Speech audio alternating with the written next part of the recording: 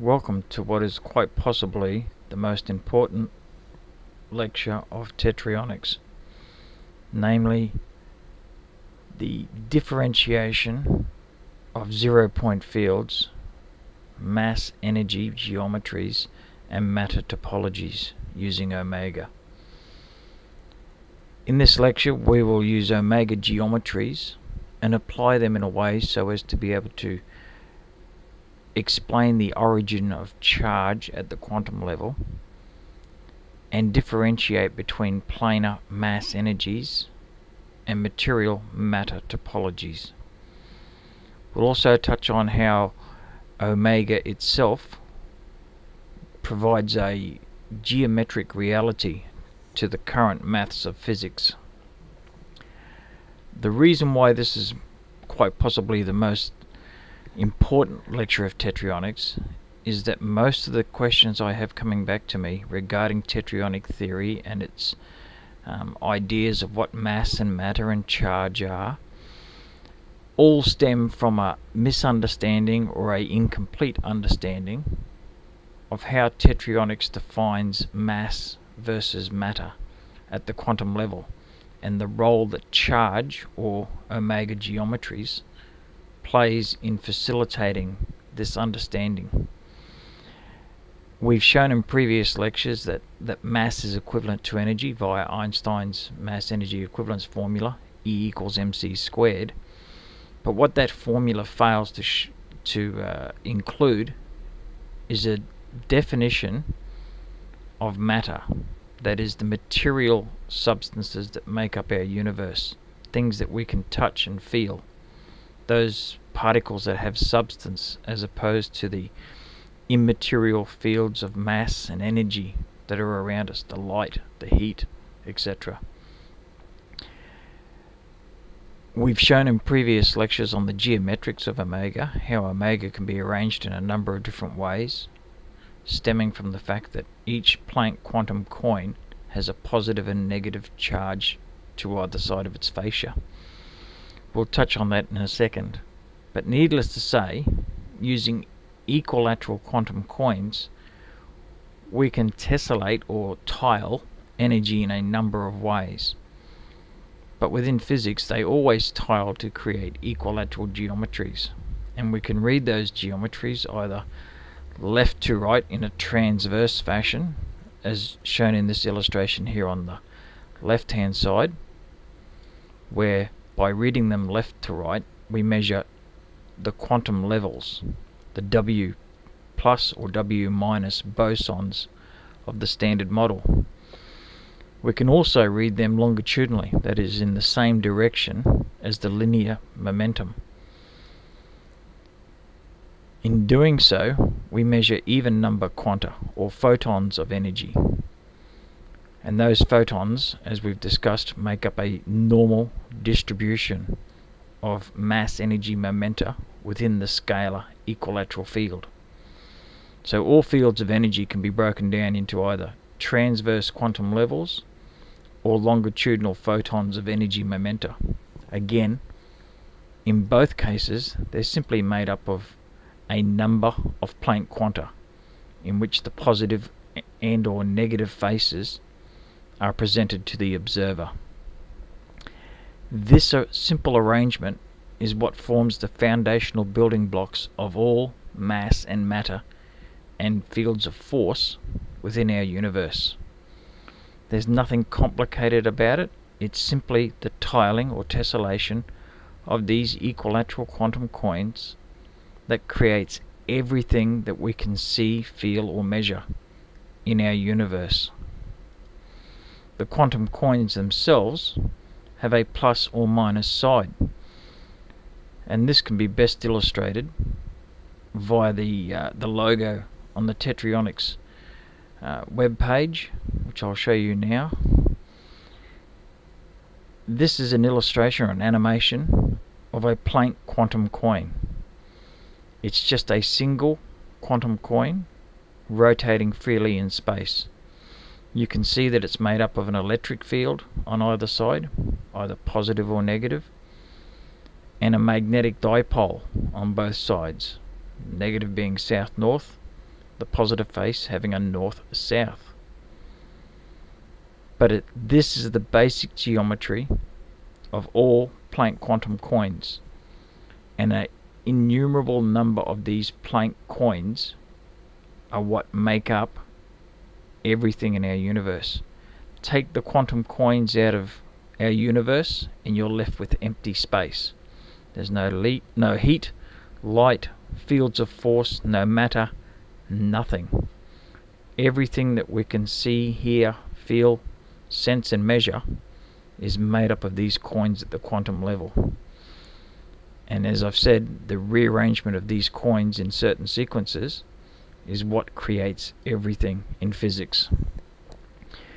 So with respect to that quantum quoin, having either a positive or negative charged field,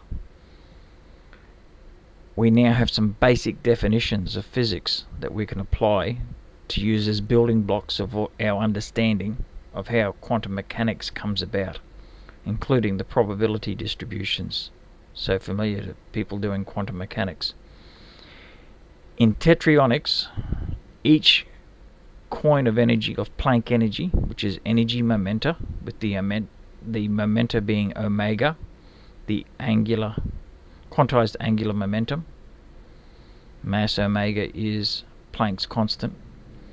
The omega is the equilateral geometry of each field, and viewed from either side, a positive field viewed from the opposite side of this page would in fact be seen as a negative field, and vice versa a negative field from this side viewed from the opposite side would indeed be a positive. These form the quantum of charge. Each side is a positive or a negative charge, but the energy is just a quantum of energy. It could be it's not thought of in tetryonics as positive energy or negative energy. It's positive or negative charge with quoins of energy. The quantums of charge are expressed in tetryonics as a small case q to differentiate them from elementary charges, which will come into play later in this discussion. So a plus or a minus q, or elementary charge, either side of the quantum quoin, then interact via their magnetic and their electric fields to begin to form fields of mass energy, bosons and photons. As we mentioned in the previous discussion, each Planck quoin, h nu, can be thought of as being half a photon, a photon being a positive and negative neutral charge carrier, electromagnetic quantum. The boson, the W, the W plus and W minus bosons are obviously charge, electromagnetic charge carriers. They are either plus or minus. In reality, that's either side of the quantum quoin. So the formulation for a zero point field of energy would be H nu or a half HF. Either way, zero point energy creates an electromagnetic field, which we then define as being charge via its inductive rotation as we've drawn here or which in reality doesn't exist but it's a, it's a handy term which we'll relate later on to inertial mass the inductive mass or the inductive loop when viewed from either side of the quoin is seen to rotate in one direction or the other. For positive charge quanta the inductive loop will be modeled as rotating in a clockwise direction whereas the negatives rotate or flux in an anti-clockwise direction. And again it's just the result of the the symmetry of Planck quoins. There is no motion of energy. There is no flux or spin or curl. There's no um, no motion per se. It is simply the result of the field geometry. Every quantum quoin has an electric component and a magnetic dipole moment. And it's the orientation of those fields that determines whether it's positive or negative. But the quantum quoin has a positive and negative side to each and every one of them. That plays an important role down the track, but not in this lecture. So from that we can see that we have, in the case of zero point energy, the ability to produce two forms of quantum charges, plus or minus as I mentioned. And we model these as W in the, the standard model as W minus W plus or W minus bosons. The photon again would be two of these back to uh, us joined together along the magnetic dipole to create a diamond shaped geometry and that would be a photon where the can the the positive and negative charges cancel out again we have a zero point singularity at the very center of each charge field and there is a difference between zero point fields or zero point the electromagnetic field versus the zero point energy one is a property of the other the energy is the the um, foundational property. The emergent properties are the electromagnetic fields, depending on our measurement of one side or the other.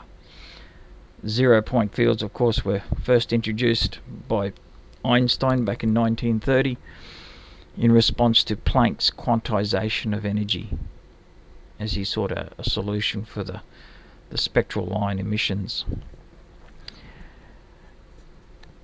these geometries, the plus and the minus, are the foundational building blocks of everything.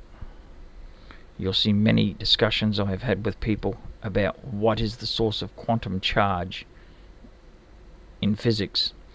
Modern physics has no explanation for what creates charge because they use there, there is no geometry to energy in the standard model at present or in any model at present bar tetryonics and accordingly there's no explanation as to what creates a charge of either positive, negative or neutral on the surface of any particle or any within any field. We now see that the zero point energies themselves have a positive and negative charge inherent on either side and the arrangement of these plus and minus charges or W plus and minus bosons within the scale of fields is what creates all the fields and forces and, and material particles that we can measure and observe.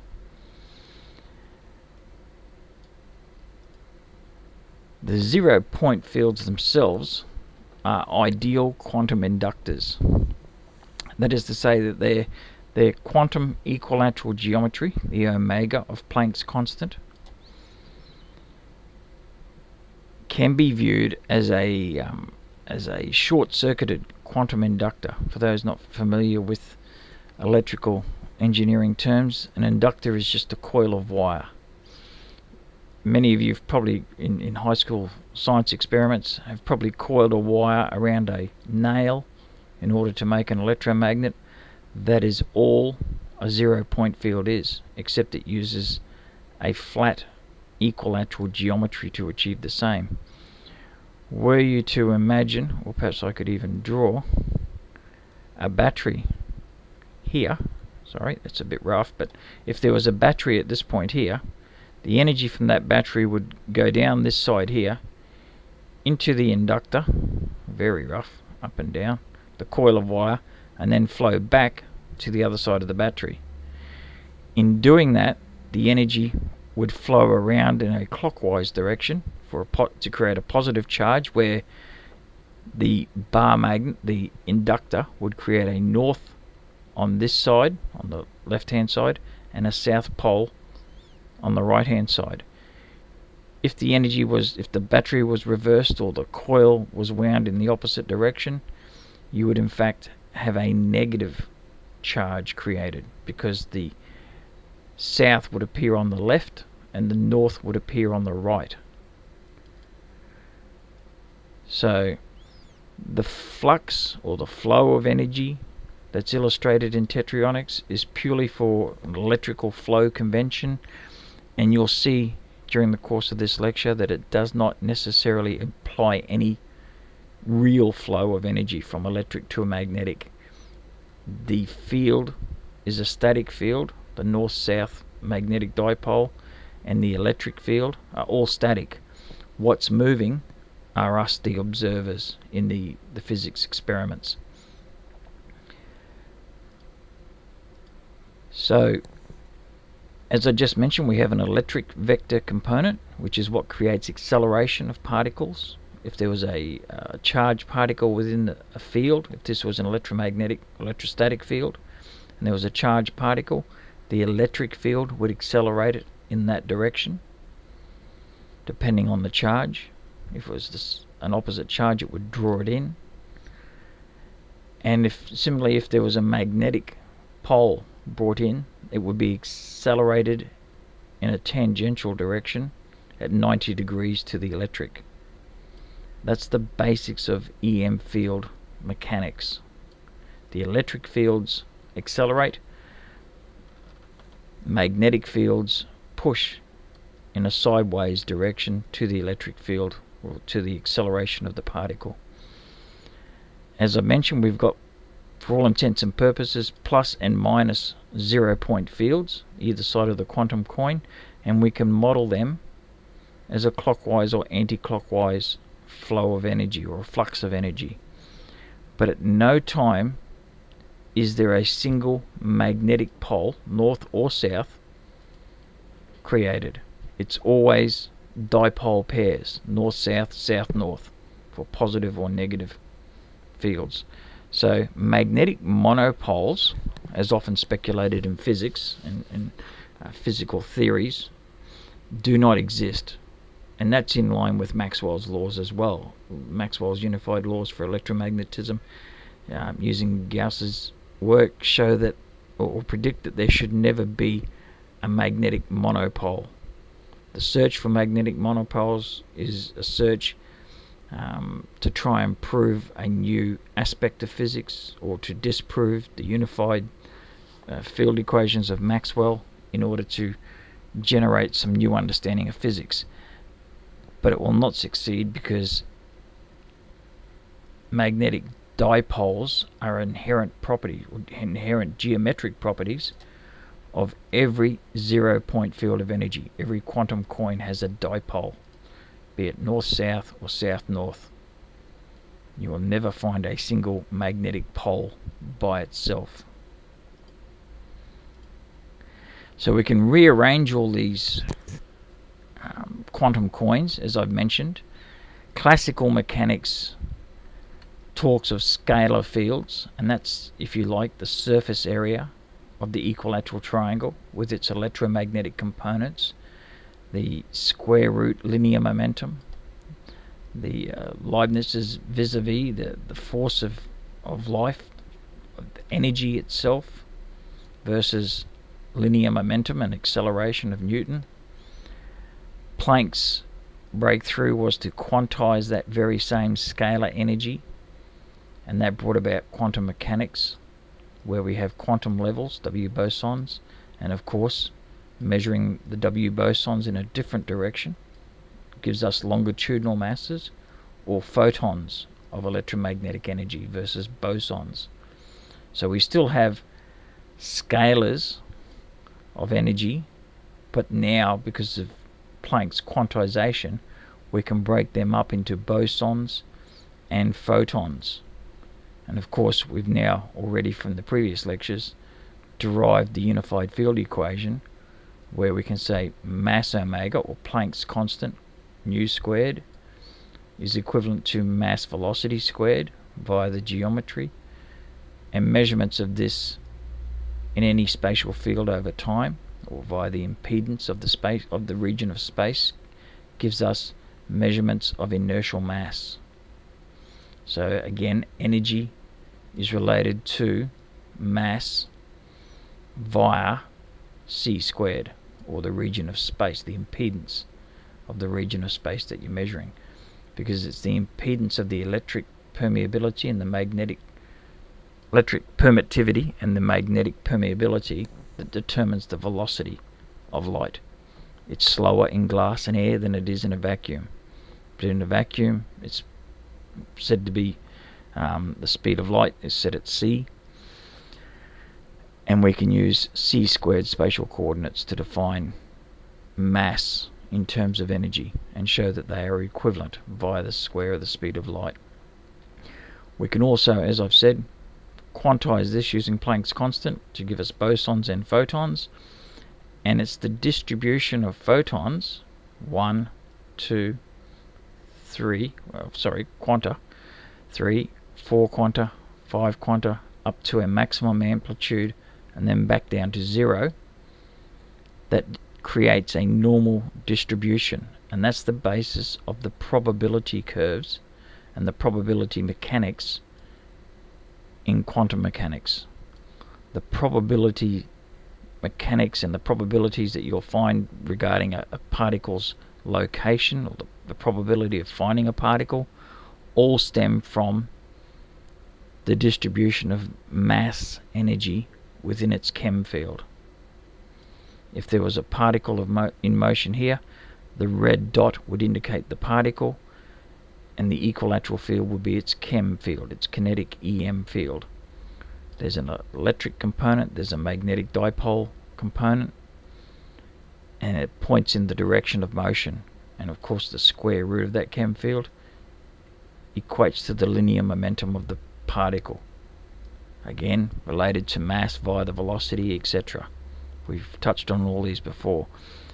But this is just to highlight the point that whereas classical mechanics deals with a scalar distribution or a measurement of energy that can be either electric or magnetic and wasn't so in Newton's time it was only so in Faraday and Maxwell's time we have now quantized it after Planck and with Einstein to give us quantum mechanics the quantization of these scalar fields. So this left hand side if you like is the classical mechanics picture of energy or mass energy momenta whereas the right hand side is the quantum mechanical picture of that very same mass energy momenta and all we've done is applied omega to the formulations and the understanding that omega is in fact quantized angular momentum or equilateral geometry at the quantum level. So these quantum quoins, as I've said, you'll see illustrated in the quantum mechanics ebooks as having this faint EM flux between the electric field and the two poles of the magnetic dipole. It will flux in one direction or the other. That's purely a, uh, a descriptive way of showing that each quantum, each side of the quantum quoin can be thought of as a short-circuited inductive loop and here you can see the inductor at the base where the magnetic dipole forms the electrical energy flows in one direction or the other or is modeled as flowing in one direction or the other to create the positive and negative charges this is an extremely handy analogy even though there's no physical flux or spin or curl at the quantum level but it's extremely handy in explaining inertial mass, which, which we'll touch on very shortly.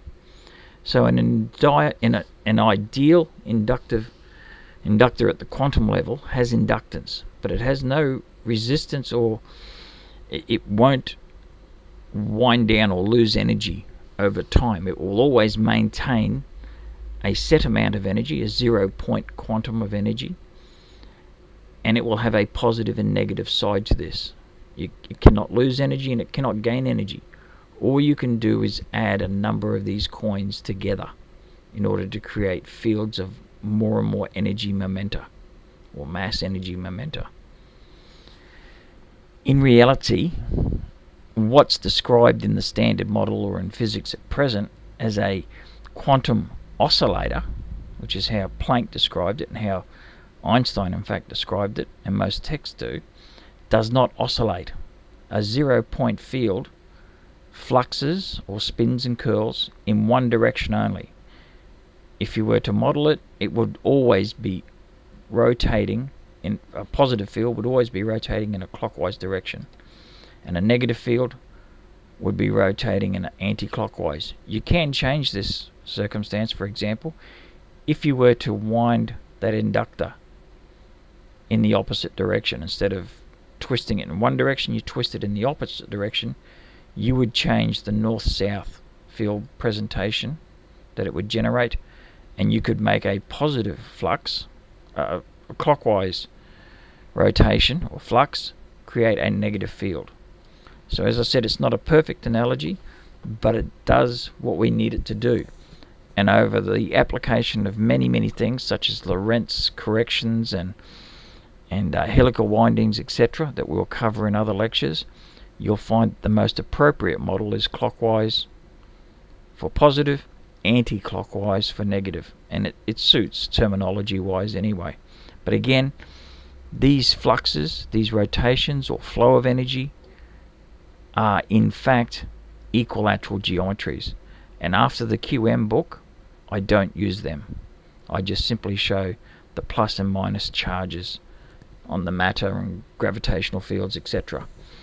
So they're only shown in the QM book in order to stress a point about how we could physically model the quantum level at the macro using electrical components and also as a tool to explain inertial mass as opposed to gravitational mass when we get into the cosmology ebook lectures. So obviously now that we have a zero point field or zero point energy quantum quoin with plus and minus zero point fields either side, these fields can interact via their electric and magnetic components. And that's what they do. But the quantum inductive circuits come together to form larger and larger equilateral fields or photons and bosons of electromagnetic energy. But the important thing is there is no oscillation, there is no changing of as uh, if we were to look at this page, the left hand side as it's modeled would always be a positive field and the right would always be a negative. They wouldn't be flipping between positive and negative. In order to get them to flip between positive and negative all the time, we would have to have a capacitor at the top so that it would charge up and discharge. At that point, it would circulate backwards and forwards, but it would no longer be true, a true representation of what's going on at the quantum level. Zero point fields, Planck quanta, quantum quoins are fixed. The only way you can change the charge on the face that's presented is to look at it from the opposite direction, from the underneath of the page. But the symmetry that you see here represented on the page would remain true even if you were viewing it from the other side. It's part of the charge chirality as it's called of the fields themselves.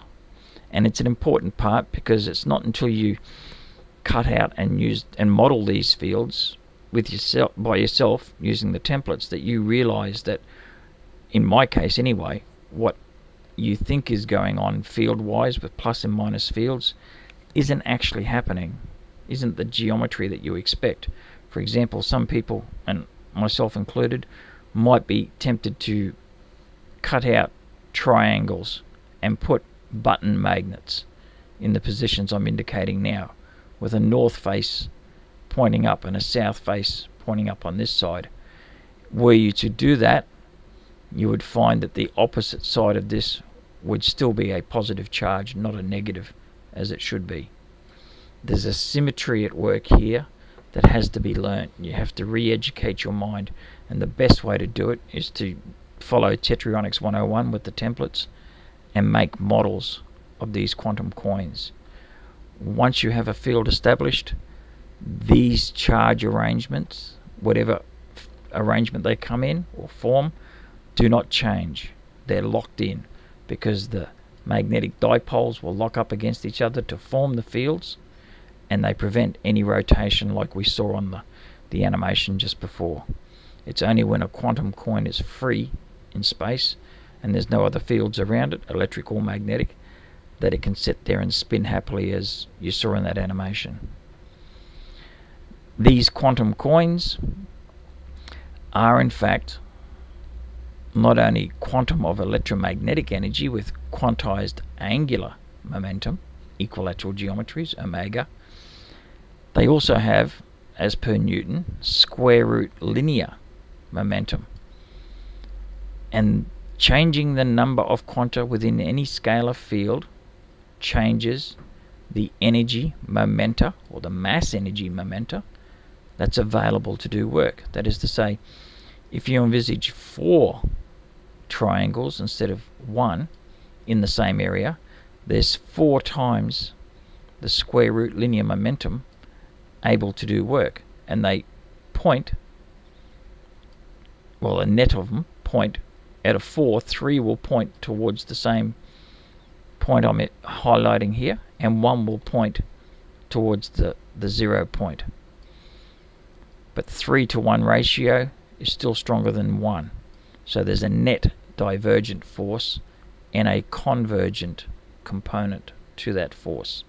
So as we build up fields of equilateral energy momenta, or Planck quantum quoins, fields of these quoins, irrespective of their charge arrangement, will develop a convergent component in addition to their divergent component.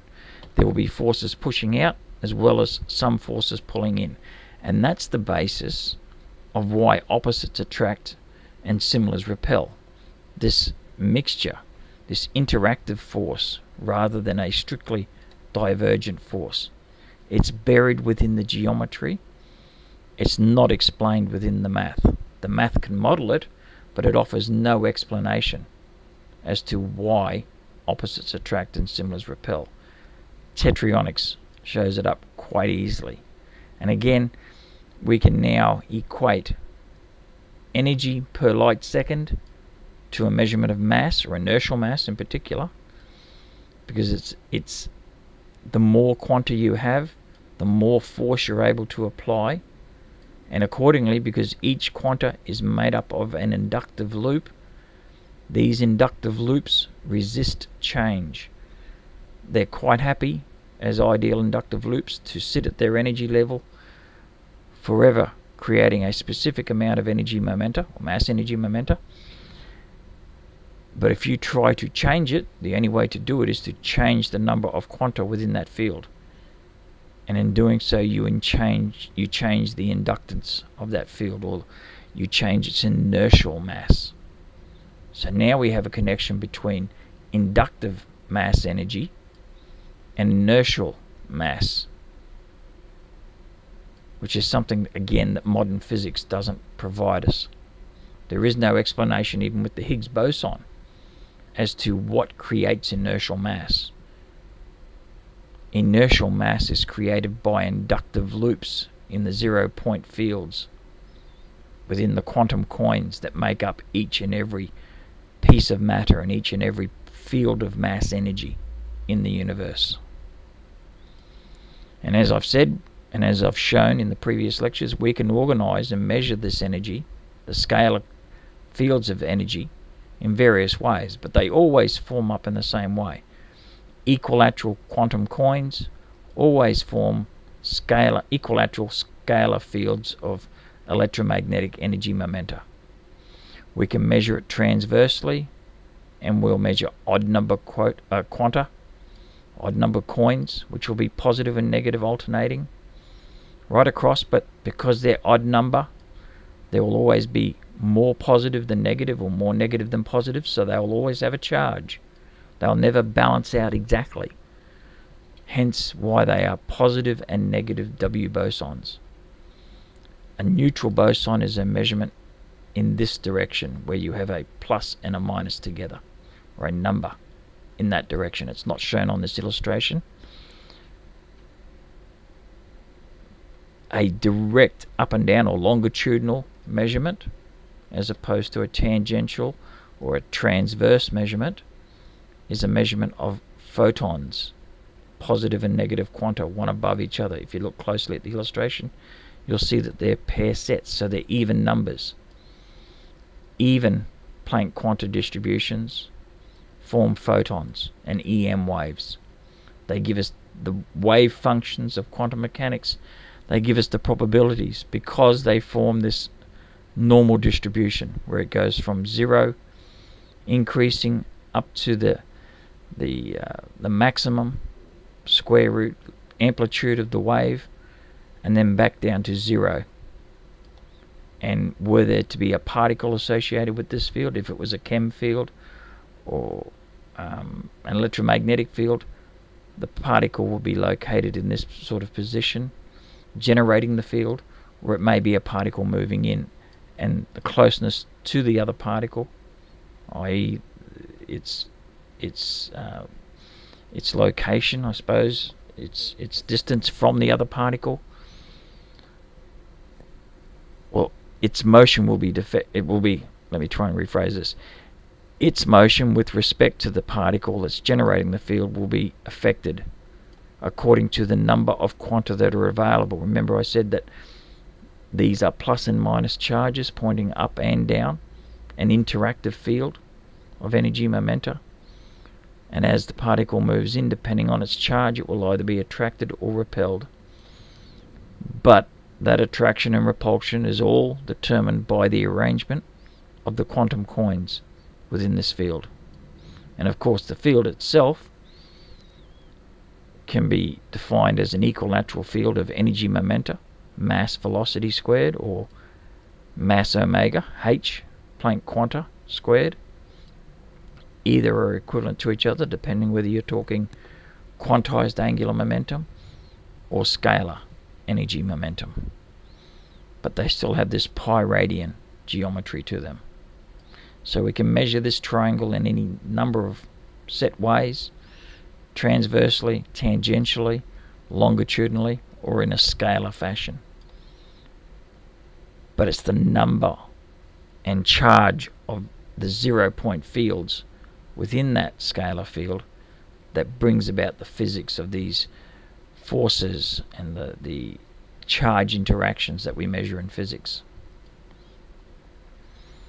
So in a nutshell, the difference between Newton and Planck is tetryonic theory. All tetryonic theory says, at its most fundamental form, is that omega, in Planck's constant mass omega, the omega is an equilateral geometry. It's not a spin, it's not a curl, it's not a flux, as I've mentioned. It can be modeled as that, but in reality it is simply an equilateral triangle of electromagnetic energy. And again, you have an electric component and a magnetic dipole component, just as you have in classical mechanics, except in quantum mechanics, everything is made up of these tiny, tiny triangles of energy. And in order to create a large scalar field, you have to put a large number of Planck quantum quoins into that field. They will always fill in that distribution pattern where the square root of the scalar field is the linear momentum, the highest amplitude of the wave, where it can exert the most force. As you move away from the particle, the force gets weaker and weaker.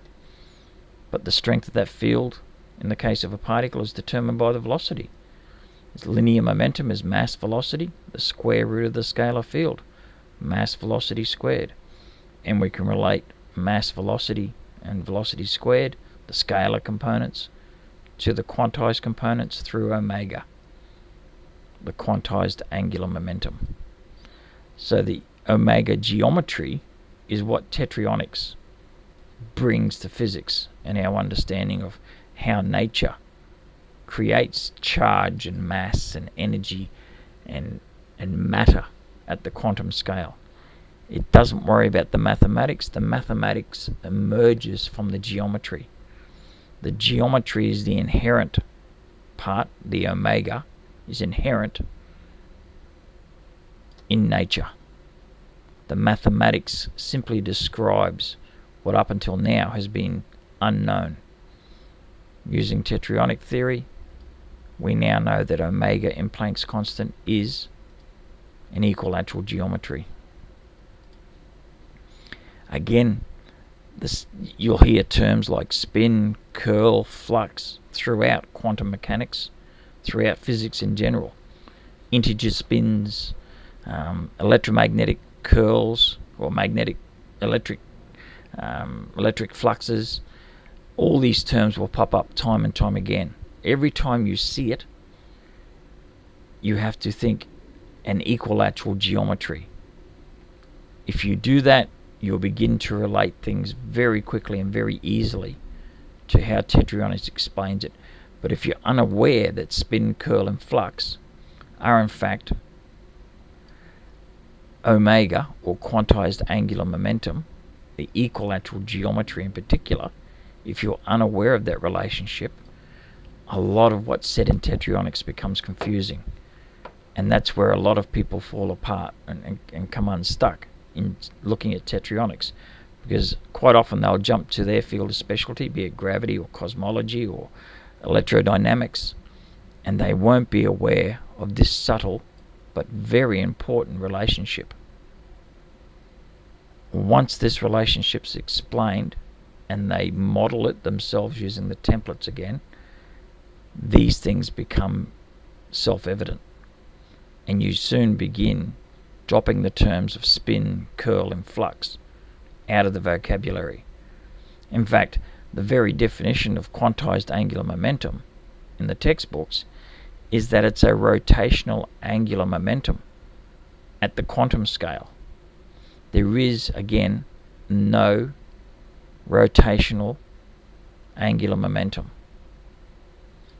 Until we build particles, then you can have a classical rotation about a point, a, a spinning particle, for example, but that doesn't exist at the quantum level. That's not the source of charge.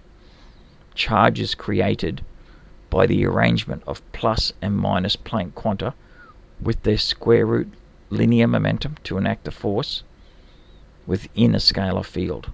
It's the geometry of omega that's the key to understanding how nature builds all these everything that we see in physics or in nature itself. You can see here I've actually tiled some scalar fields with plus and minus quantum quoins and you can see how the quantum levels have an imbalance. Second quantum level has three charges. It's a W boson. It has two positive and one negative. Therefore, it has a net charge, quantum charge, of plus one. So it's a positive W boson. On the other side, over here on the right, we have the same field, but we have two negatives and one positive. So it's a W negative boson.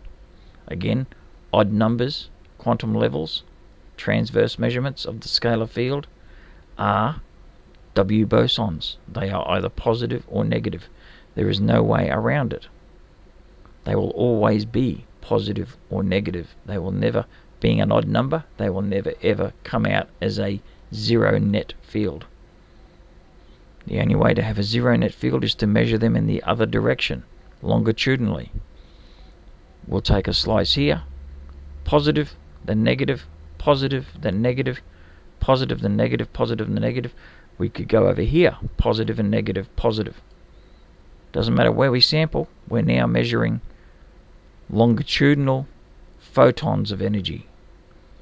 Positive and negatives cancel out to make a neutral photon of energy. Two bosons, two nu equals HF.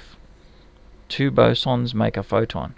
Doesn't matter whether they're positive positive negative or negative positive, depending on the charge of the scalar field. That is how you will always measure them.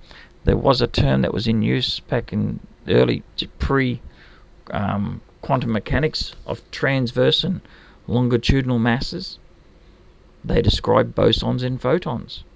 They came about through measurements of acceleration and measurements of ampere forces between two conducting wires. But again, longitudinal and transverse masses are photons and bosons, respectively.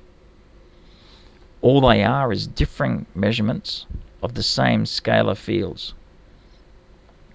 Where we have quantum charges within a scalar field, they always add up to create a net charge.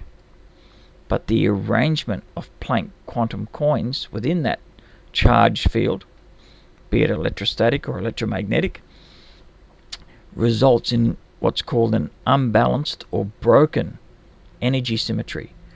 The equilateral geometry of any field always results in either a positive or negative charge. The only way it can result in a neutral charge is if a positive and negative charge field come together to form an electromagnetic field versus an electrostatic. Electrostatic fields are always positive or negatively charged. Electromagnetic field has no charge, but it has magnetic, a strong magnetic dipole. We'll explain this in the next lecture or the one after. But it's the the geometry of the scalar field that results in the asymmetric or broken symmetry that leads to charge at the quantum level. You cannot avoid it. Using Planck quantum quoins, you will always create a charge distribution or a quantum distribution that results in either a positive or negative charge field. And we can measure that in many various ways as shown there in the mathematics. But the positive and negative fields are the result of the geometry. Their SI units are mass seconds. They're a measurement of Planck quanta per light second, mass omega per c squared, which gives us mass seconds in SI units. And it's obviously a positive, net positive mass seconds or negative mass seconds. And this is the basic definition of charge mass seconds. If you ignore the energy content that's here and just look at the flux or the, the magnetic dipole arrangement of the fields, you would actually be defining time, seconds.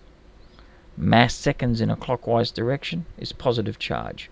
Mass seconds in a anti-clockwise direction is negative time.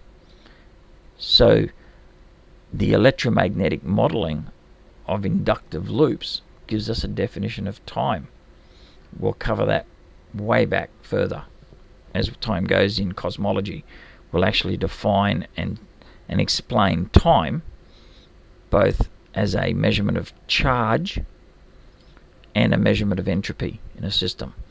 But for the moment, chart quantum charges are measurements of plus or minus mass seconds. And again, terms like spin, flux, and curl are not real descriptive terms, but they can be used in order to model the arrangement of these Planck quantum quoins within any scalar field.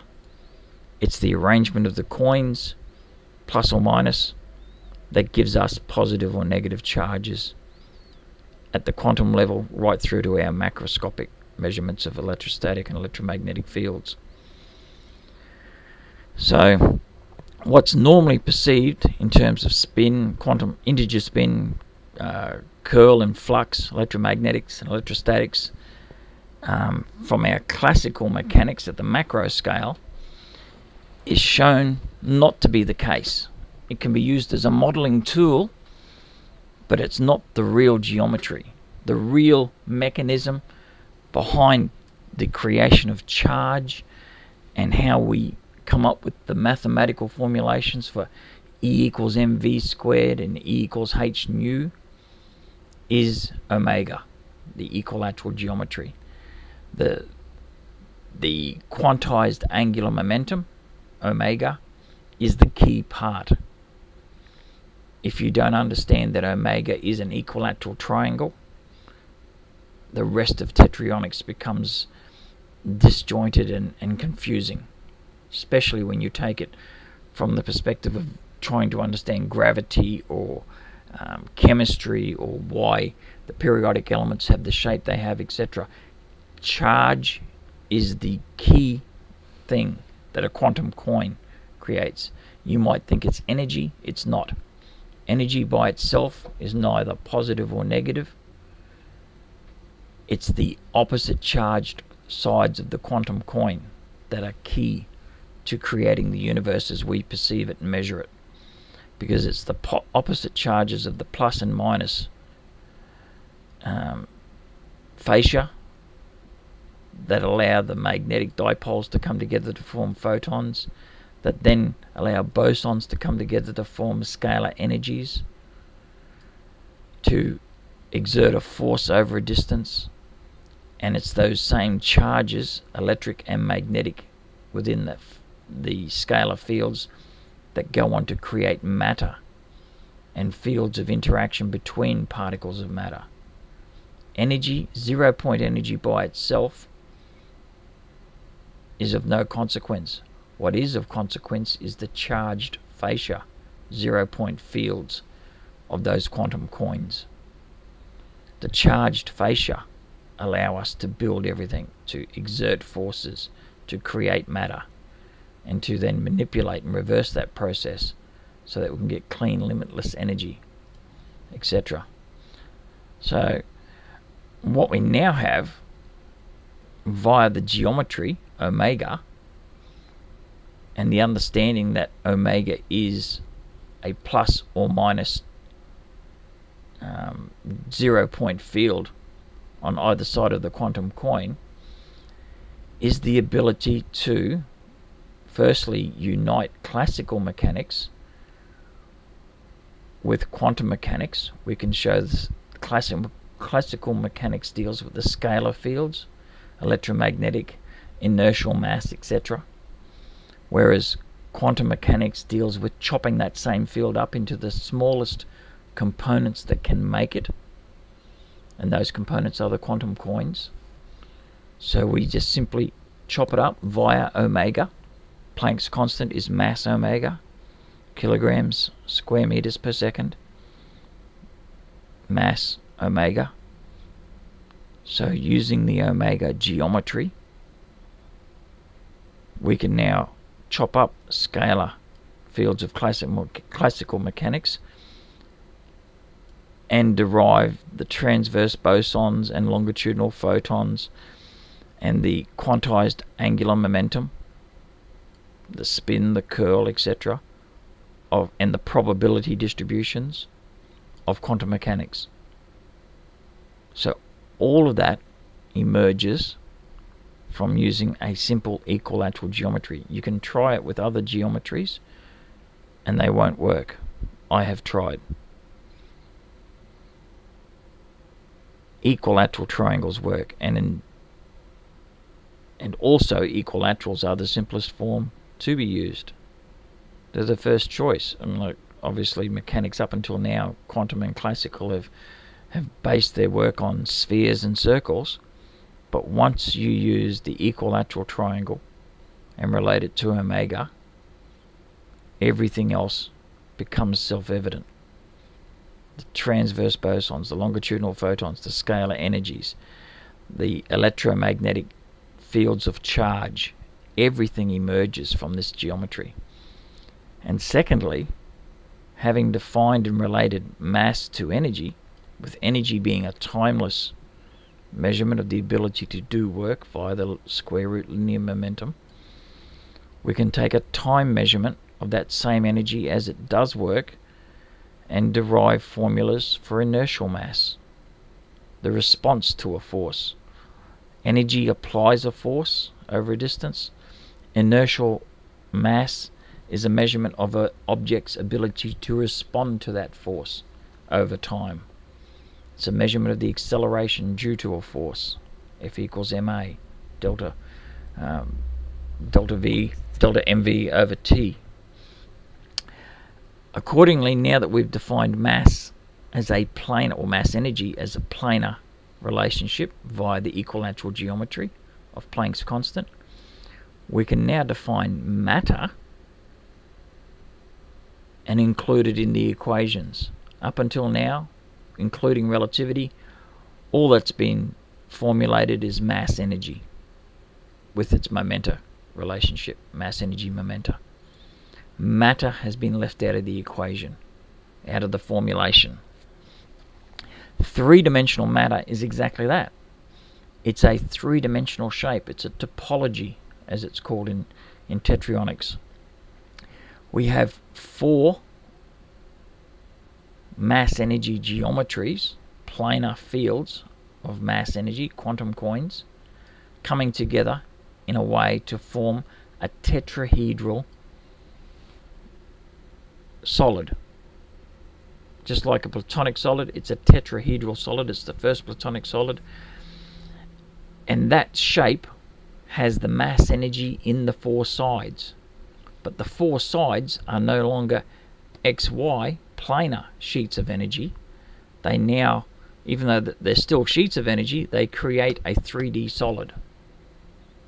So the sides, having built or followed Tetryonics 101, I hope you will see and you'll know that you take four quanta, mass energy, geometries, and you can fold them into a tetrahedral solid. The tetrahedral solid in tetryonics has a name. It's called a tetryon. It's what gives tetryonics its name. And it simply is the word for a particle of matter. It's the quantum of matter. It's the building block. Just as a Planck quoin is the building block of mass energy, a tetryon is the building block of all matter. It's the, the smallest chunk of matter possible. That's what the Planck, what the, the Greeks were chasing when they devised the term atom. If you keep chopping up um, a bar of gold till you get its individual gold atoms, you can then start chopping those atoms up and you will come down to baryons or protons and neutrons and electrons you can then chop them up again and you will find tetryons. The tetryons are the building blocks of matter, three dimensional matter topologies. They occupy a, a volume of space, they enclose a volume, and the mass energy fascia exclude matter, or exclude mass energy, sorry, from inside the matter itself creates a null space where there is no energy or no mass energy at all within matter. They are a 3D standing wave of mass energy. The energy circulates endlessly in that tetrahedral form. But now we have a definition where we're starting to use, we've defined and we're now differentiating between the words mass and matter. You should now, when you hear the word mass, think flat sheets, two dimensional sheets of energy. And when you hear matter, you think of a, a tetrahedral volume or a tetrahedral solid taking up a volume but made up of mass energy.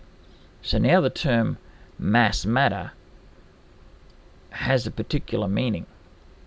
In ordinary physics texts, it doesn't and the two words are often interchanged. The mass of a particle of matter. Photons as massless particles. They can't be massless because we've already determined that a photon has energy momenta. It has two Planck quanta, which are mass omega. Photons cannot be massless. They can be matterless because they don't have any volume. They're planar sheets of energy. So massless photons is incorrect matterless photons would indeed be correct, and we'll touch on that shortly. So, having defined or differentiated between mass and matter, both of which are electromagnetic forms of energy, we can now start to look at how we can put those Planck quantum quoins together and what difference that makes to matter itself. Obviously, as we increase the number of Planck quantum quoins, increase the odd numbers of bos the, the odd numbered bosons in the scalar fields, we increase in odd number steps to create squared numbered scalar fields. As we do so, we increase the energy levels, which increases the momenta in the field because the square root linear momentum is related to the scalar equilateral field through the geometry. So we step from 1 quanta, being n1, to 4 quanta, which is again the square of 2. 2 times 2 is 4. We then jump up with another 5 quanta to give us 9 quantum in total, so an energy level of n3. And we could increase that again, and it has to be a step of 7 a, a W boson of 7 to increase it to 16 quanta. or an N4 squared scalar field and we can continue onwards. So we start at N1 and we increase via odd numbers to create equilateral scalar fields. These are the energy fields with their respective quantum levels in quantum mechanics. Now you should be able to associate W bosons and odd numbers immediately with the term quantum level. And that a transition between energy levels, which is a squared number, is just the release or addition of an odd number to that field. It's the difference of two squares, as Fermat would have said. But these are the principal quantum levels or principal energy levels of particles in quantum mechanics. And accordingly, if the charged mass energies make up the tetryons that make up the matter topologies themselves, we have an interesting relationship which isn't again presented in modern physics as it's explained. That is, in the in the case of all matter, as we increase the energy level, and here in this illustration we have N1, N2, N3, N4, up to N8 deuterium nuclei, so their energy level is raised up one energy level at a time in the tower, which corresponds to a um, uh, an atomic shell in a, a periodic or elemental nuclei. So atomic shells equal quantum principal quantum numbers. As we increase this, we must remember increase so we create squared numbers. But because protons and neutrons are identical except for their charge and they're made up of these equilateral mass energies they must have identical mass energies themselves that is to say a proton neutron pair at n1 energy level have exactly the same number of mass energy quantum quoins in their each charge fascia as each other. A neutron is not heavier than a proton at the same energy level. N1 neutron is has exactly the same mass and shape, charged topology, as an N1 proton. The only difference between the neutron and the proton is the quarks and tetryons that make up the, the particles result in a different charge We'll touch again on that very shortly, and particularly in depth in later discussions. But these energy levels must always increase because of the equilateral geometry of Planck's constant, and quantum quoins, must always increase in a rigid fashion. As they increase via the, the quantum inductors, the W bosons, the zero, each of which is a zero point field. You can see that they couple via the magnetic dipoles. That is to say, the magnetic dipoles of the zero point fields come together to join. They join here. You can see there's a, a big area or big cross section where the north and south dipole have joined and only a very small cross section where the electric plus and minus charges meet. So the majority of the coupling here is via what's called a coupled inductance. That is to say, the inductors, the inductive bases of the zero point fields are what's coming together. It's like two bar magnets, north and south, coming together to join.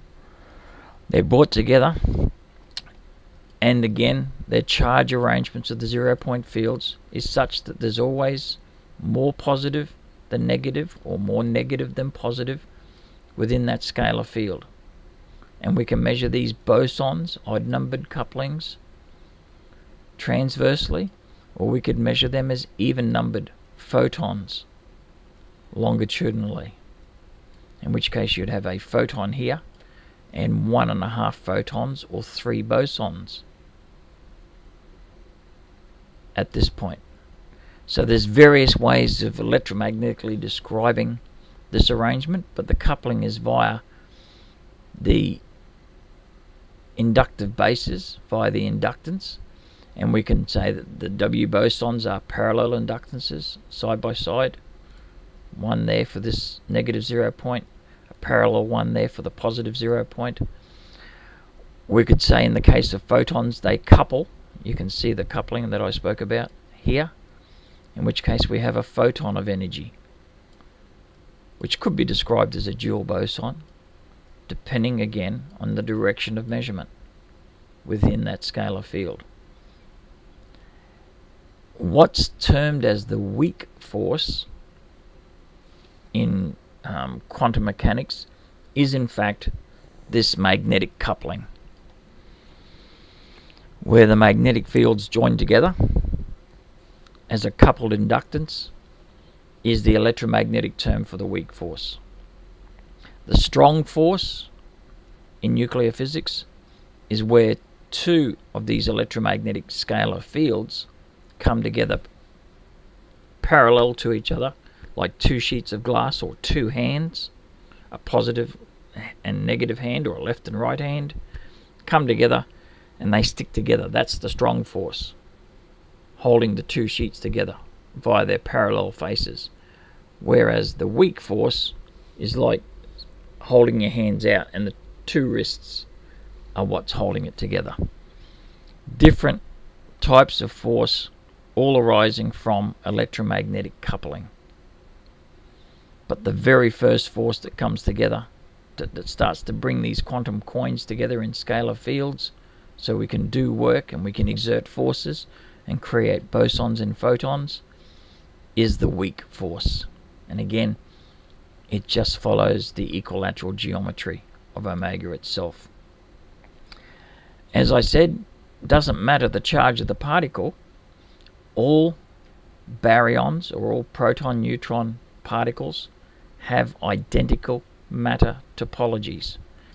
That is to say that the mass energy momenta, the charged mass energy momenta of each is arranged in such a way that they create identical matter forms. The only difference between a proton neutron or an antineutron and a negatron or antiproton is the charge. In the case of protons, we have 24 positive charges making them up and 12 negative, resulting in a net elementary charge of plus 12. In the case of neutrons and antineutrons, they both have a balanced arrangement of charges of 18 positive and 18 negative.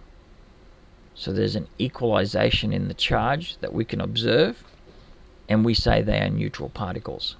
In the case of antimatter, the 24 positive and 12 negative of a proton is reversed. So we have 12 positives and 24 negatives, resulting in a net charge of minus 12, the exact opposite of the proton.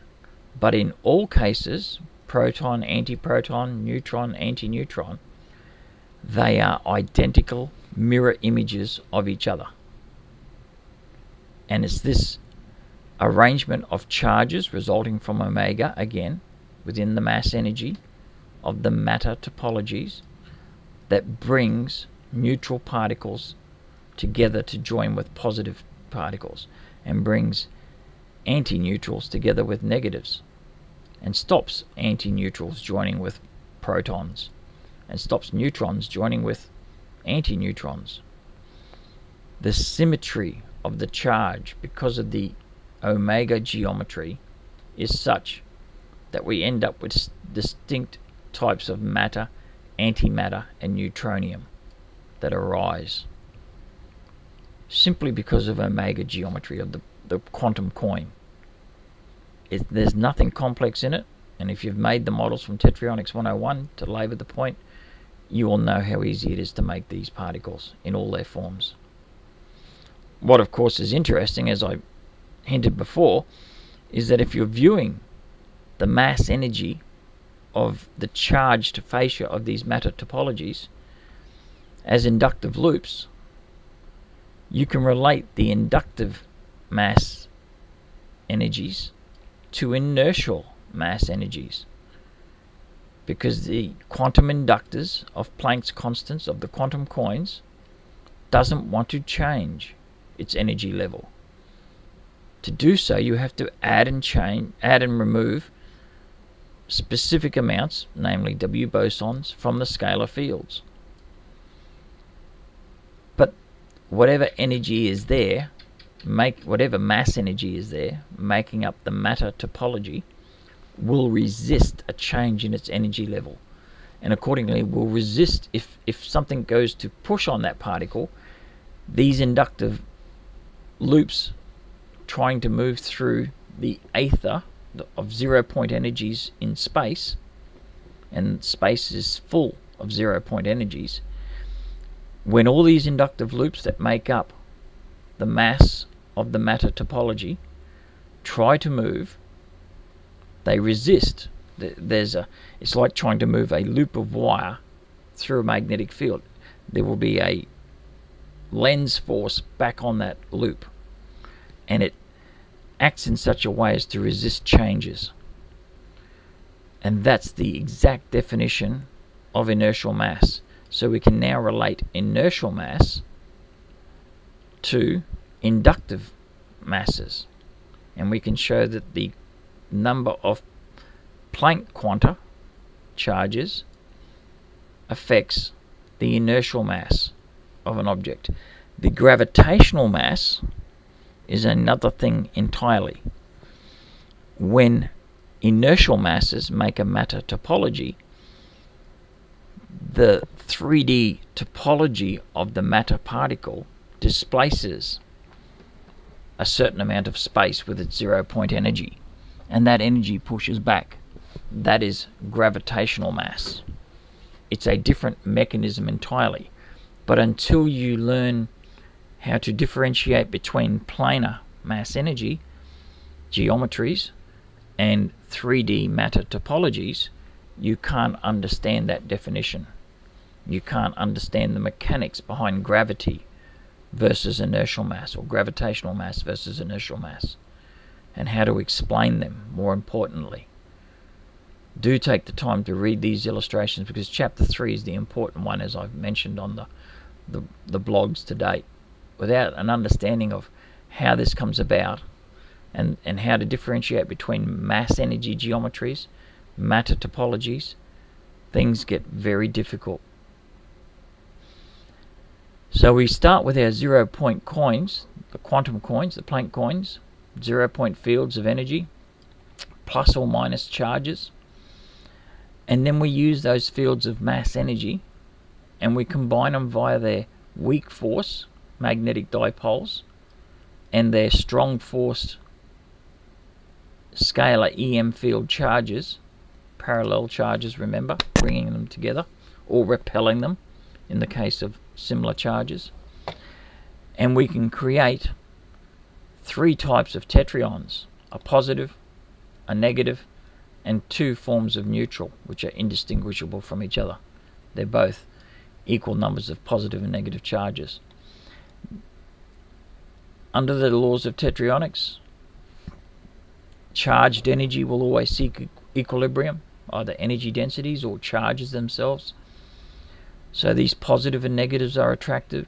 Even the negatives are attracted to positives in the neutrals, and positives are attracted to negatives in the neutral as well as the negative component, negative tetryon itself, and they combine.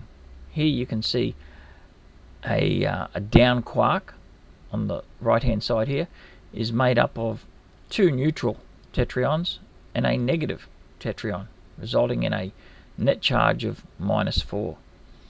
An up quark has two positives with a neutral sandwiched in between to create a net charge of plus 4. These are partial charges, remember, partial elementary. But we now know the elementary charge of plus and minus 1 is in fact plus and minus 12 through the geometry of mass energy in matter. So in the case of leptons, three tetryons can come together to form positrons, neutrinos again, two neutral particles, almost identical to each other, save for their charge arrangement, and electrons, all negative charge particles. And they can also then, the, the quarks themselves can interact in groups of three to form protons, neutrons, antineutrons, and antiprotons.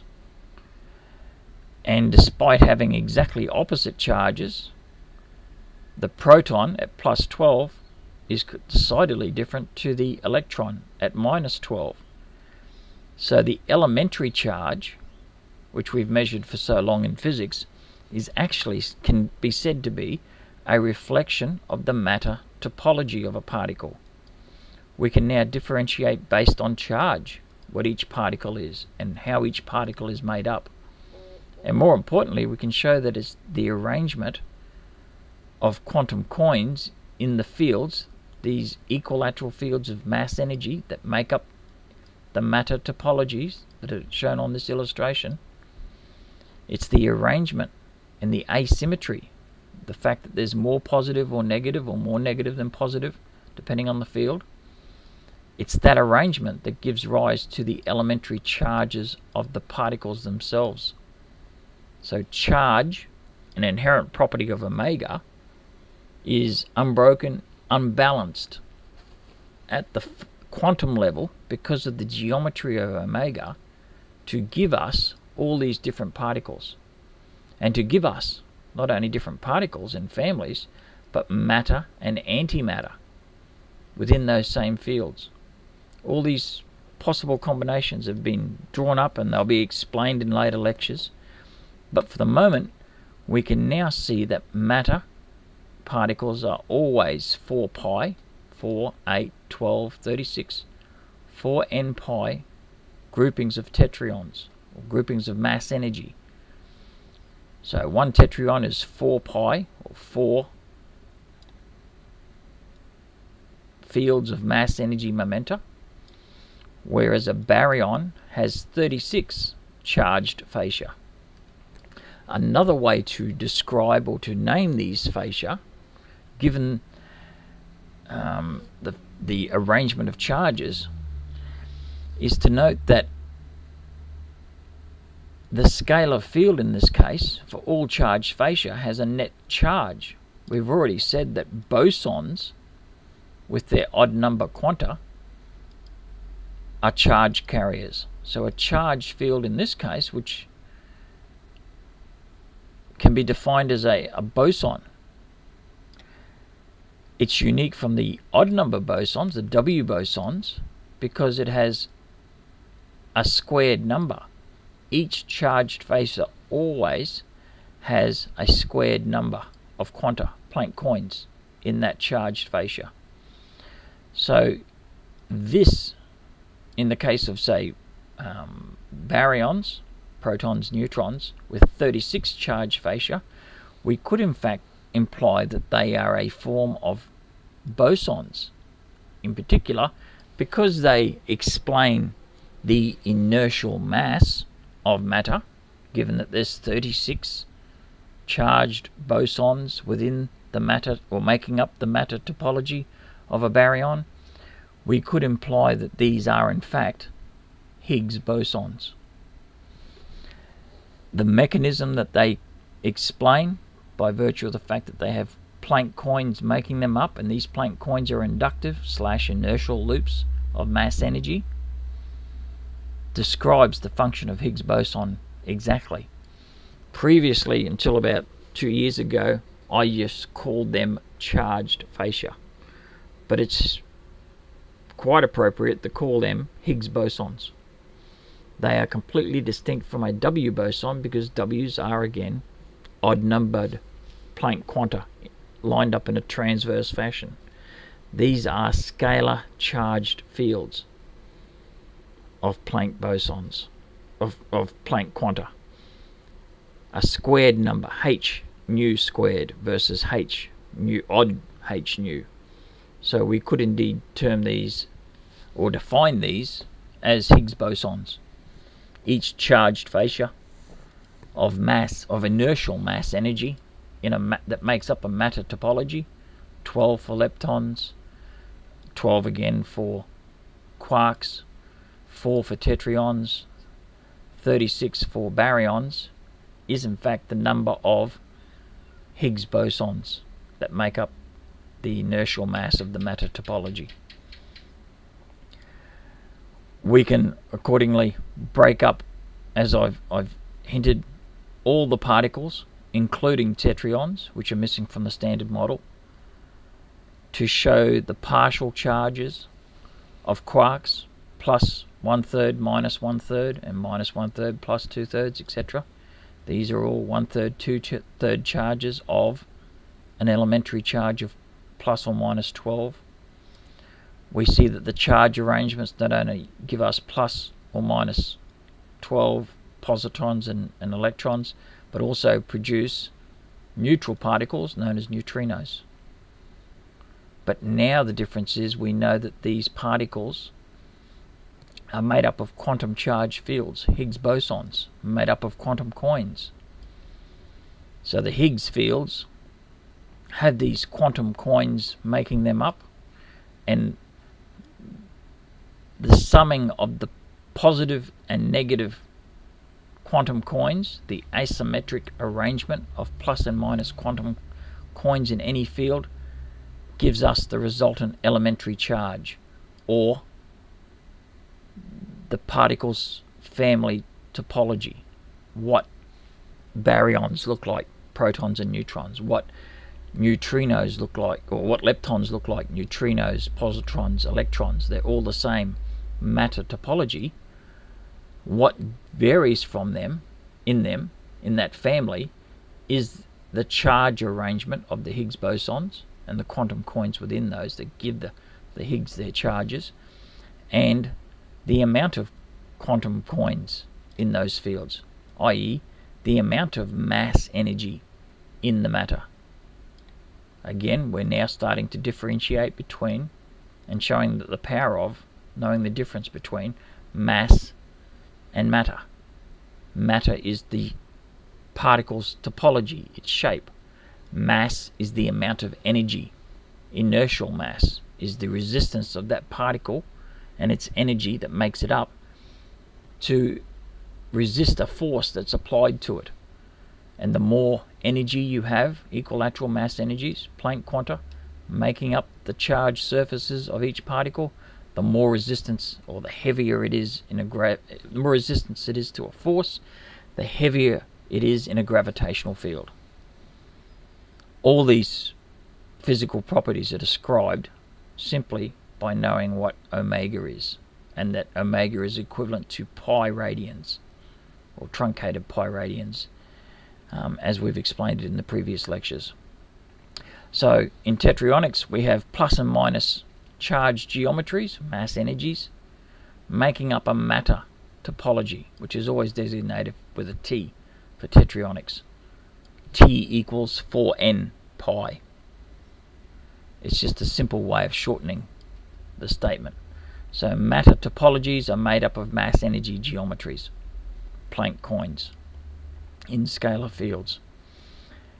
Whereas the standard model implies that everything is a spherical particle. It has no real explanation for the plus and minus one third partial charges of quarks. It has no inkling that tetryons exist with identical mass energy or charge mass charge ratios to the leptons and to some quarks.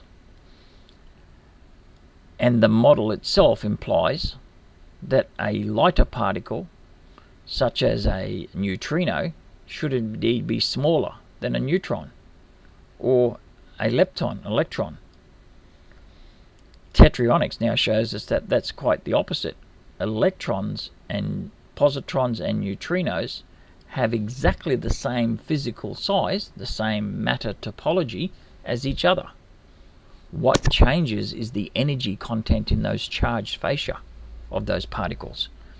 Less energy or less quantum quoins in the charge fascia, we have a lighter particle because there's less inductive loops to resist the force, to resist the change of a force that is applied to it so therefore it appears lighter as inertial mass perspective to the velocity against or the acceleration from a force that's applied. They have exactly the same matter topologies because they're made up of the same quantum quoins, just less of them, and a different charge arrangement. So the standard model of spherical point particles can now be dismissed. What's the implications? Well, obviously, the Bohr model of a spherical proton being orbited by a smaller, lighter electron is incorrect. We know they're not spherical. We know they're made up of smaller charges, and more importantly, we know that they're made up of omega geometries. So, therefore, they're not spherical, even in the, the broadest sense. They're made up, that their construction is such that they form those these geomet these topologies. The charge topologies are distinctly different from a, a point particle. Although in the case of tetryons, 4 pi tetrahedrals are equivalent to 4 pi spheres on the macro scale. Gauss-Bonnet theorem proves that. Um, something you can search if you like. But we can, using tetryonics, and, and this will be in the, the chemistry lectures, we can relate the energy levels to the atomic shells. There's the energy levels there, 1 to 8. To the atomic shells, K to R.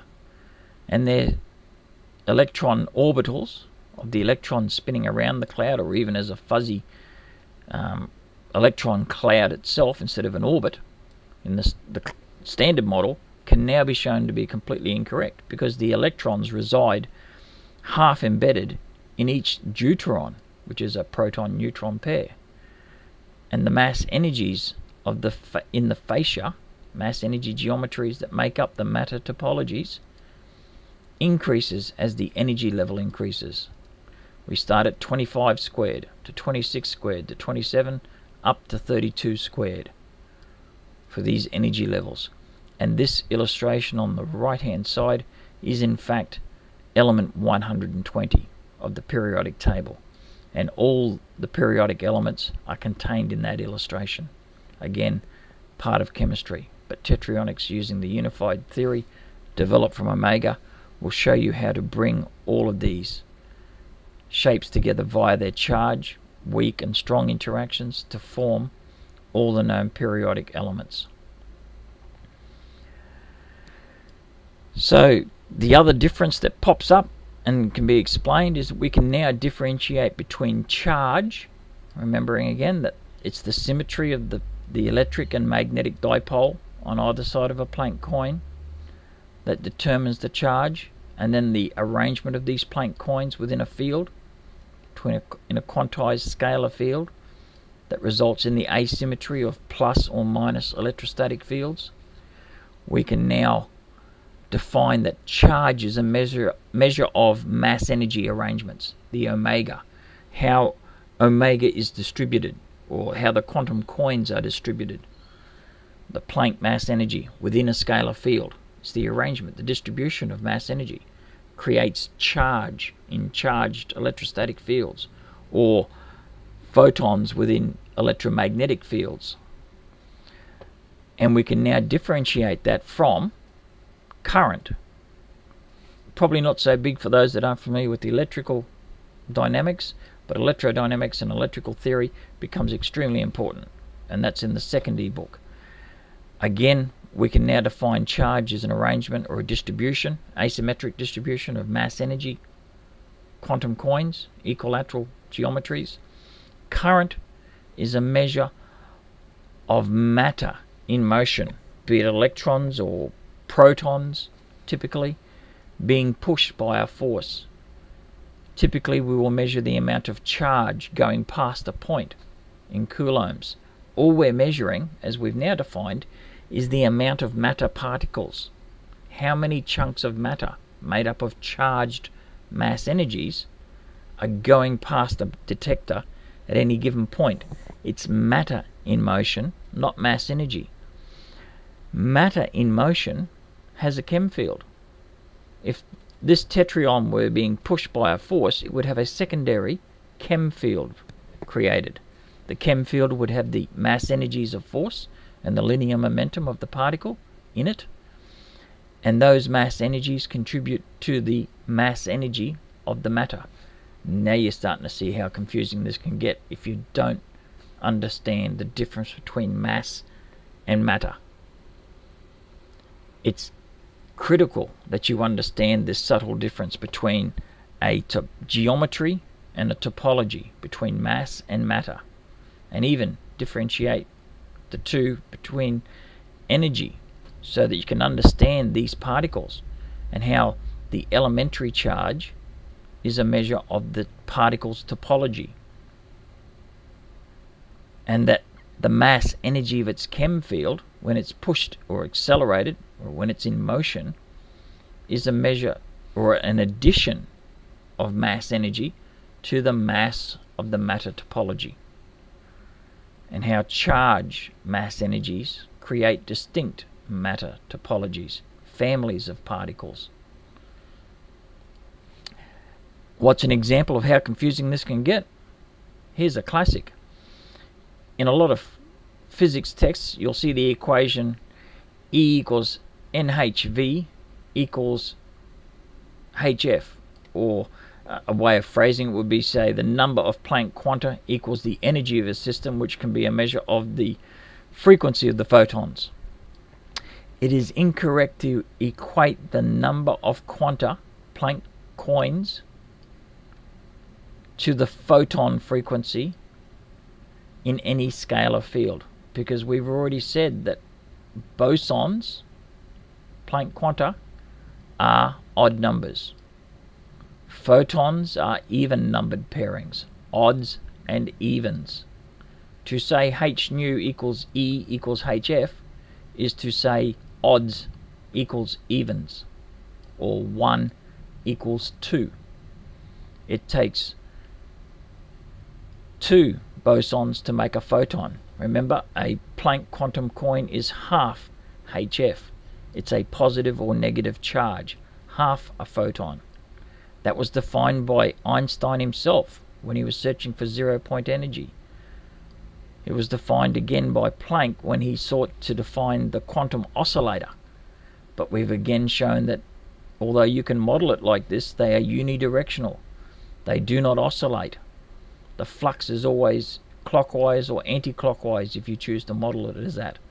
But in reality, it's the distribution of plus and minus quantum quoins in the field that determine whether a Higgs boson is plus or minus, or whether the ch a charged facia of any matter particle is plus or minus, or whether a field is electrostatic or electromagnetic. Two Planck quanta make a photon. You must always write the equation as 2nhf, uh, 2nh nu equals E equals NHF, or at the simplest form, form 2 Planck quanta equals the energy of a photon. That then gives us the correct formulation for a zero point field or a, zero, a quantum of zero point energy. It allows us to define charge as we have, to find electrostatic, electromagnetic fields, to explain the broken symmetry, to explain why charge fields attract and or repel through fields of interaction, to explain why particles have their the shape that they have. It's because of the the arrangement of Planck quantum quoins in the field that create the that bring about the asymmetry of charge, and it, it boils down to its most basic as omega is the geometry of charge and the measurement of energy per unit of time or per light second in relativity is the measure of inertial mass. Inertial masses or inertial mass energy geometries that come together via their charge interactions to form matter topologies create the family of particles or they in turn can create fields of interaction for those particles that accelerate them, that give motion to all the matter in the universe. So, in this one quick discussion, this one lecture on, on these few illustrations, we've covered charge asymmetry, the origin of charge, the source of inertial mass, why particles look and behave the way they do, the incorrectness of assuming that lighter particles are smaller than their same family um, counterparts. Neutrinos have exactly the same physical size as an electron, and that's important down the track when we talk about neutronium in, in neutron stars, for example, or antimatter in general. They need to be specific sizes in order for the particles themselves to interact in such a way as to create light. So here again we show that math by itself doesn't give these answers, but the inclusion of geometry, omega, equilateral geometries to Planck's constant, suddenly we have a flow of information that we've never had before.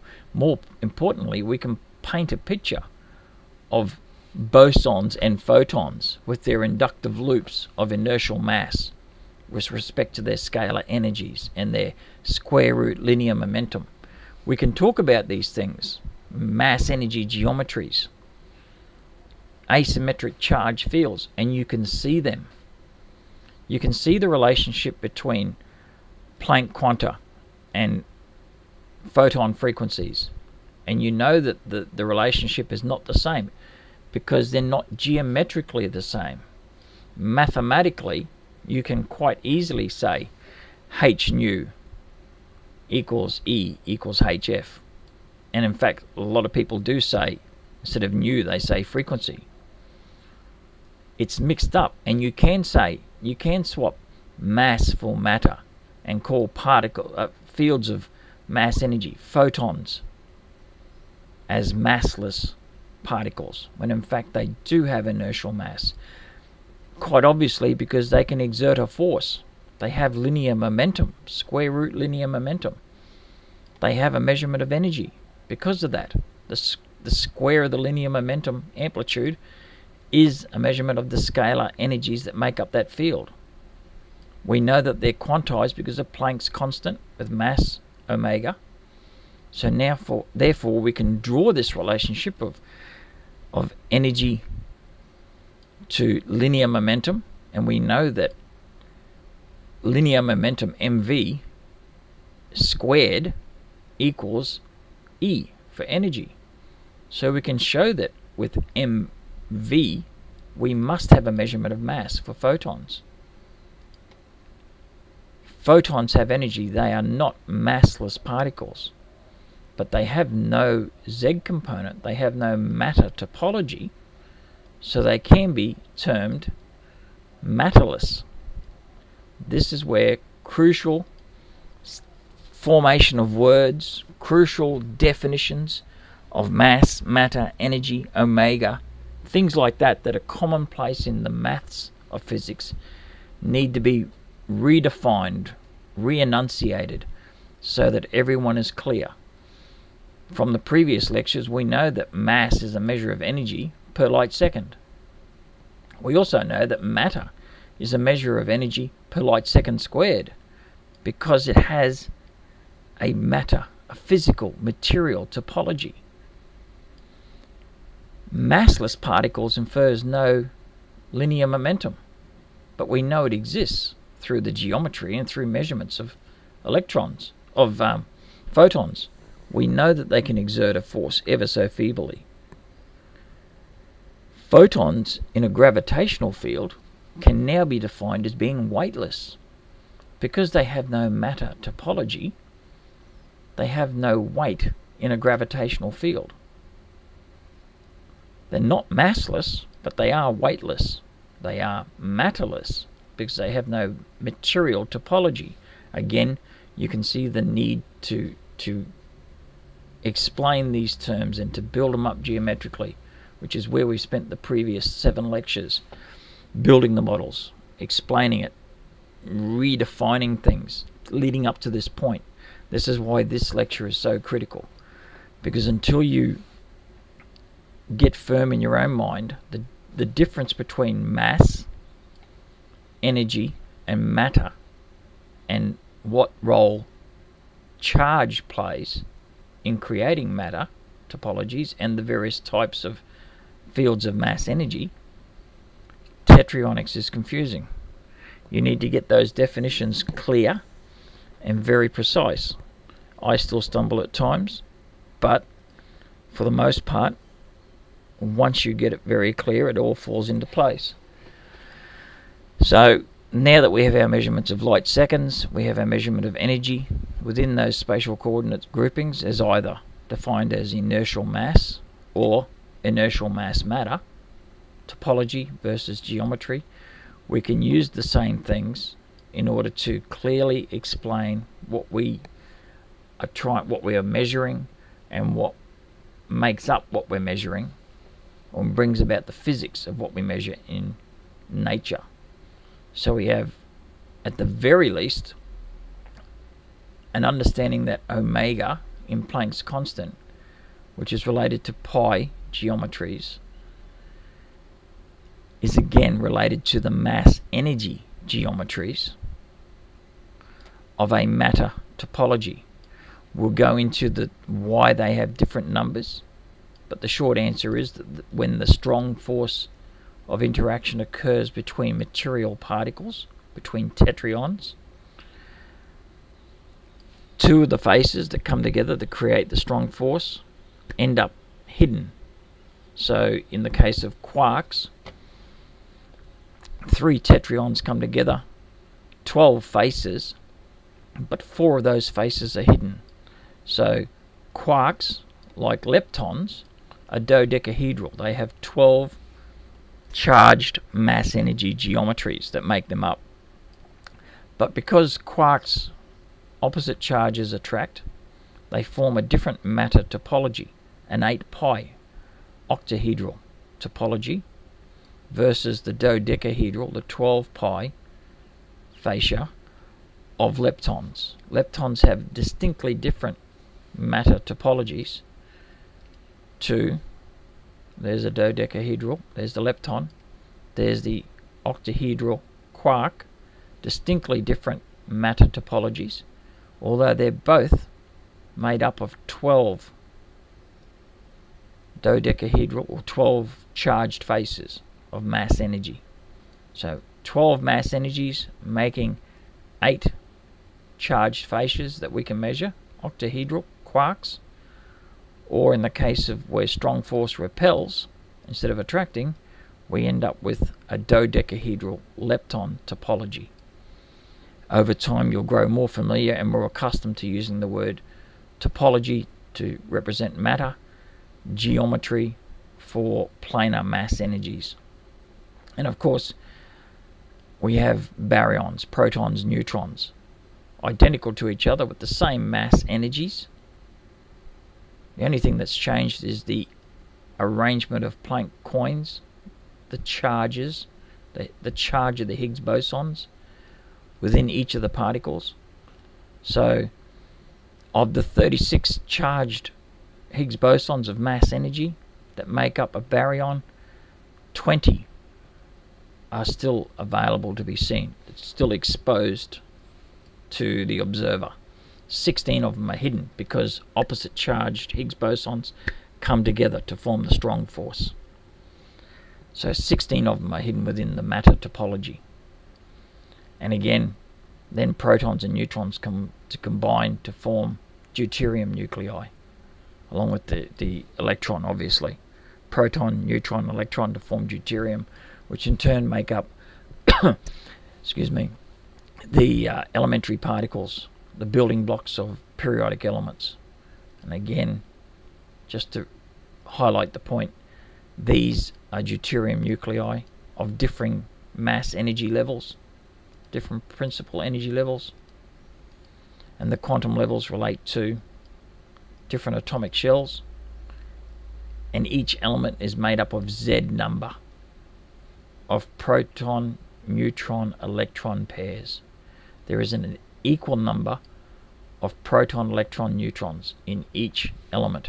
There is not an excess number of neutrons surrounding a Z number to make up or to account for the molar mass or the observed mass of any particle. when you do the math, and we'll discuss this when we do the chemistry discussions, we'll show that these changing energy levels in accordance with Schrodinger's equations and Bohr's uh, atomic shells and suborbitals fully accounts for the molar masses of the elements. So there's no need to invoke um, excess neutrons, etc. A discussion for another day.